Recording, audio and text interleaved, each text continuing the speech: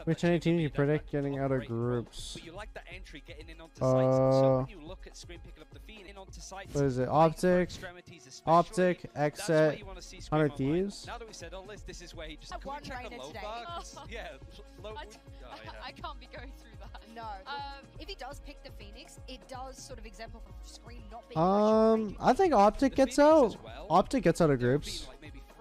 Teams that have played Phoenix Uh, LCK 100 Thieves group is but a- of course, kinda hard. thing is FaZe and Evil Geniuses. FaZe and Um, there's a possibility. Okay. So there's a lot of weight on like Phoenix mates everywhere. Like, please make it work because there is an element I of like don't know if we- XSET will. taking a chance on that agent overall because Scream has been so good on him in the past. I think Now there's a solid bit chance for two out of three. Play him, there is a direction that you could take that in. But when you look at how strong Fade, so